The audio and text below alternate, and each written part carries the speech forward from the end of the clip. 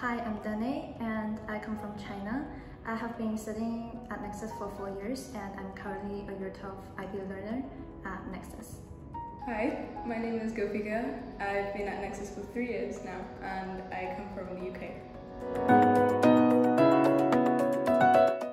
When I was in year 10, I participated in a Formula One in schools competition in which we have to design a car model and race against teams from other schools. This project had helped me a lot in my in developing my communication skills and uh, I learned how to work as a team with my teammates. It was such a great team effort and I had a lot of fun.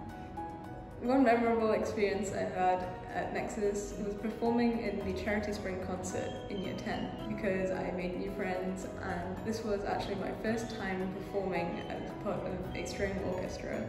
At the time I was obviously quite nervous but afterwards we had members of the audience coming up to us and telling us that they really enjoyed our performance so that was a great experience that really stuck with me and it especially allowed me to learn more about collaborating with other musicians